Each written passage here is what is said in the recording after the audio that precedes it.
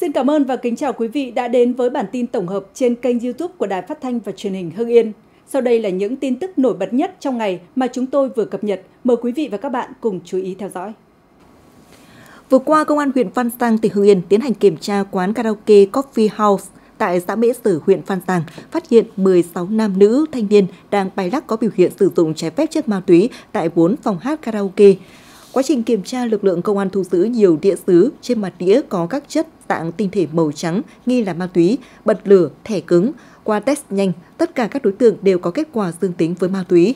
Tiến hành xác minh phân loại đối tượng, cơ quan điều tra xác định các đối tượng đều trong độ tuổi từ 19 đến 34 tuổi, có địa chỉ thường trú tại huyện Phan Giang, thị xã Mỹ Hào, tỉnh Hưng Yên và một số tỉnh thành phố như Hà Nội, Hà Nam, Sơn La, Bắc Giang, Vĩnh Phúc, Nghệ An, Lào Cai cơ quan cảnh sát điều tra công an huyện Văn Giang đã tiến hành trưng cầu giám định chất tinh thể màu trắng thu giữ tại các phòng hát. Kết quả là ma túy gồm các loại ketamin và MDMA có tổng khối lượng là 6,764 gram. Sau khi phân loại đối tượng, cơ quan cảnh sát điều tra công an huyện Phan Giang đã tạm giữ hình sự 11 đối tượng, trong đó tạm giữ 10 đối tượng về hành vi tổ chức sử dụng trái phép chất ma túy và tạm giữ một đối tượng về hành vi mua bán trái phép chất ma túy, đồng thời tiếp tục củng cố hồ sơ để xử lý theo quy định của pháp luật. Thông tin từ Ủy ban nhân dân xã Tà Trải, huyện Bắc Hà, tỉnh Lào Cai cho biết, trên địa bàn vừa xảy ra vụ án mạng khiến một phụ nữ tử vong. Theo thông tin ban đầu, vào 16 giờ 20 phút ngày 5 tháng 8, tại gia đình ông Bùi Văn Tê, sinh năm 1966, ở thôn Na Kim, xã Tà Trải, xảy ra vụ án mạng. Hiện nghi phạm đã bị tạm giữ để điều tra, làm rõ hành vi giết người. Theo các nhân chứng kể lại, con trai chủ nhà là Bùi Mạnh Tê sinh năm 1994 đi chơi về thấy vợ là Nguyễn Thị Hát sinh năm 1997 đang nấu cơm trong bếp. Hai bên xảy ra cãi vã, tức giận, Bùi Mạnh Tê đã cầm dao sát hại vợ dã man. Được biết Bùi Mạnh Tê và chị Hát mới cưới nhau cách đây hơn một năm. Hiện các phòng nghiệp vụ của công an tỉnh và công an huyện Bắc Hà đang điều tra làm rõ nguyên nhân vụ việc. Tại dự thảo nghị định xử phạt vi phạm hành chính về trật tự an toàn giao thông, Bộ Công an đề xuất phạt tiền người đi bộ vi phạm ở 6 hành vi, đồng thời tăng mức phạt với cá nhân dùng điện thoại khi lái xe.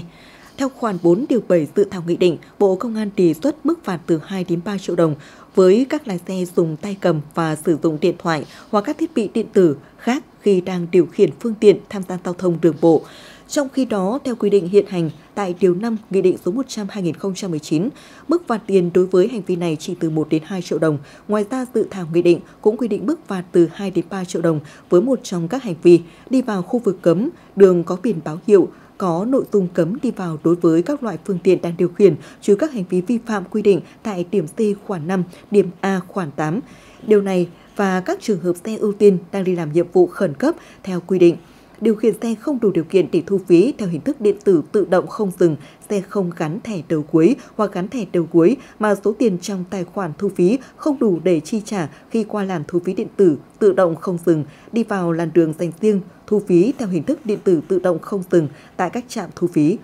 Dừng xe, đỗ xe, quay đầu xe trái quy định gây ủn tắc giao thông, xe không được quyền ưu tiên lắp đặt sử dụng thiết bị phạt tín hiệu của xe được quyền ưu tiên không thực hiện biện pháp đảm bảo an toàn theo quy định khi xe ô tô bị hư hỏng ngay tại đường bộ giao nhau cùng mức với đường sắt, không nhường đường cho xe xin vượt khi đủ điều kiện an toàn, lùi xe quay đầu xe trong hầm đường bộ, dừng xe đỗ xe trong hầm đường bộ không đúng nơi quy định, vượt xe trong hầm đường bộ. Ngoài nội dung trên, dự thảo nghị định xử phạt vi phạm hành chính về trật tự an toàn giao thông còn đề xuất phạt tiền từ 60.000 đồng đến 100.000 đồng. Đối với người đi bộ có một trong các hành vi vi phạm sau không đi đúng phần đường quy định, vượt qua giải phân cách, đi qua đường không đúng nơi quy định hoặc không đảm bảo an toàn, không chấp hành hiệu lệnh hoặc chỉ dẫn của đèn tín hiệu, biển báo hiệu vạch kẻ đường trừ hành vi vi phạm quy định tại khoản 2 điều này, không chấp hành hiệu lệnh, hướng dẫn của người điều khiển giao thông hoặc người kiểm soát giao thông mang vác vật cồng kềnh gây cản trở giao thông, đu bám vào phương tiện tham gia giao thông đang chạy, phạt tiền từ 100.000 đồng đến 200.000 đồng đối với người đi bộ đi vào đường cao tốc, trừ người phục vụ việc quản lý, bảo trì đường cao tốc.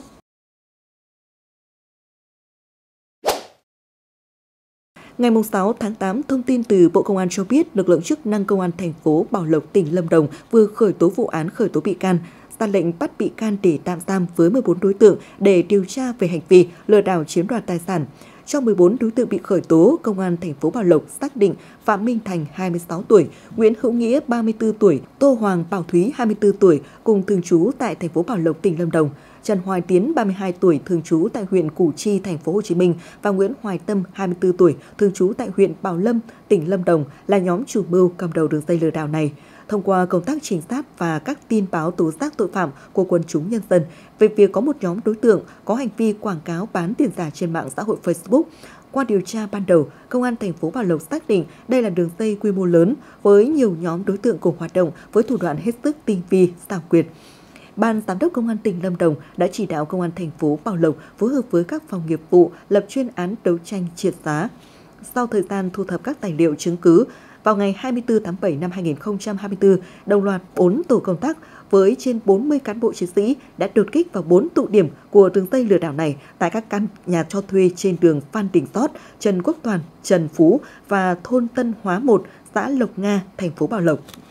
Qua khám xét, cơ quan công an đã thu giữ 15 bộ máy tính để bàn, 10 thẻ ATM và Visa, nhiều bao tải bên trong chứa nhiều giấy ghi tiền âm phủ mệnh giá 200.000 đồng và nhiều hộp giấy bên trong chứa các loại hạt khử mùi, xi măng đã được đóng gói dán tiền âm phủ. Tiến hành đấu tranh các đối tượng khai nhận từ tháng 1 năm 2024 đến nay, các đối tượng đã tạo nhiều tài khoản Facebook ảo rồi chạy quảng cáo giao bán tiền giả với cách thức quy đổi từ tiền thật sang tiền giả như sau. 200.000 đồng tiền thật bằng 5 triệu đồng tiền giả, 250.000 đồng tiền thật bằng 10 triệu đồng tiền giả, 300.000 đồng tiền thật bằng 15 triệu đồng tiền giả, 400.000 đồng tiền thật bằng 16 triệu đồng tiền giả và 450.000 đồng tiền thật bằng 22 triệu đồng tiền giả. Khi đặt mua tiền giả, khách hàng không cần đặt cọc tiền mà chỉ cần cung cấp số điện thoại và địa chỉ nhận hàng. Thực chất các đối tượng giao bán tiền giả nhưng khi đóng gói giao cho khách hàng thì bên trong không có tiền giả mà chỉ là các vật dụng như bột khử mùi, bột xi măng. Cụ thể, khi có khách hàng đặt mua tiền giả, các đối tượng đã thuê người đóng gói các hộp giấy thành các kiện hàng nhỏ, sau đó cho các loại bột khử mùi, xi măng vào bên trong hộp rồi khoét lỗ dán sẵn mẫu tiền âm phủ mệnh giá 200.000 đồng. Các kiện hàng này sau đó được gửi giao hàng tại các bưu cục chuyển phát nhanh cho khách mua tiền giả theo hình thức không được kiểm tra hàng trước khi giao. Trong thời gian khoảng 6 tháng, đường dây này đã giao thành công hơn 23.000 đơn hàng trong cả nước và chiếm đoạt số tiền hơn 6 tỷ đồng. Đơn hàng mà các đối tượng giao thành công chiếm khoảng 30% đơn hàng được giao đi. Hiện Công an thành phố Bảo Lộc đang phối hợp với Phòng An ninh mạng và Phòng chống tội phạm sử dụng công nghệ cao Công an tỉnh Lâm Đồng trích xuất các dữ liệu liên quan để tiếp tục phục vụ công tác đấu tranh, xử lý theo quy định của pháp luật.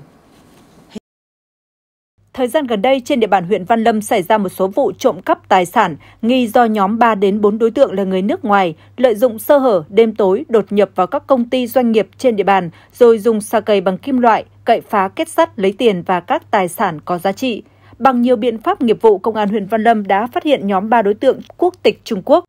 Đến dạng sáng ngày 25 tháng 7 năm 2024, cơ quan cảnh sát điều tra công an huyện Văn Lâm chặn bắt ba đối tượng khi ba đối tượng vừa đột nhập vào công ty cổ phần Habeco Hải Phòng, địa chỉ huyện An Lão, thành phố Hải Phòng để cậy phá kết sắt, trộm cắp tài sản và đang di chuyển về hướng Hà Nội. Qua kiểm tra trên người và phương tiện của các đối tượng, lực lượng công an đã thu giữ số tiền 41 triệu 300 nghìn đồng, một xe máy và nhiều dụng cụ để thực hiện hành vi trộm cắp tài sản khám xét khẩn cấp chỗ ở của ba đối tượng tại khu đô thị Vinhomes Ocean Park, huyện Gia Lâm, Hà Nội, lực lượng công an đã phát hiện thu giữ nhiều trang sức bằng vàng và số tiền 89 triệu 700 nghìn đồng. Đấu tranh mở rộng, cơ quan cảnh sát điều tra làm rõ Dạng sáng ngày 18 tháng 7 năm 2024, ba đối tượng đã đột nhập vào công ty cổ phần Đức Minh và công ty An Phú, đều có địa chỉ tại huyện Văn Lâm để cậy phá hai kết sắt, trộm cắp tổng số tiền 36 triệu đồng vụ án đang tiếp tục được củng cố hồ sơ để xử lý theo quy định của pháp luật.